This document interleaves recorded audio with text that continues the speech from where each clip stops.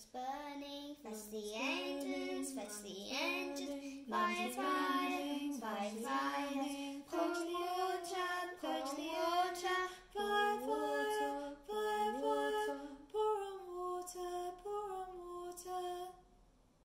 To the F, to the I, to the R, to the E. The fire of London, so listen to me. The fire of London, it started at night.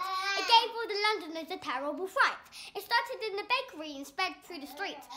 As told by the diary of Samuel Pepys, only six were dead when the battle was done. Four days later, when the battle was won.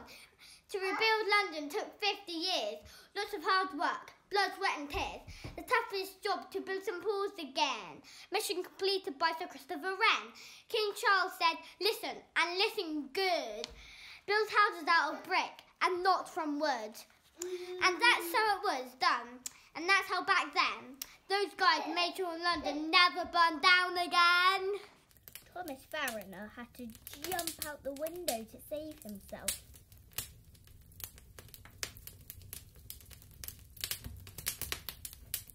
So it started in here and I did some fire and because the stairs have been broken down by the fire, there's um the person that owned the place had be- been jumping out of the window and then there's fire in here, fire up there and then there's some fire inside of the window.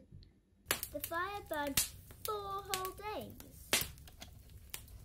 Firemen and other people got water from the River Thames. They carried it in leather buckets and poured it on the fire. Amazingly, there were only six deaths. And this is the monument that um, they put in uh, to show where the Great Fire started. The fire ruined approximately 13,200 houses, 84 churches, and 44 company halls. London's burning, fetch the engines, fetch the engines, fire, fire, fire, fire.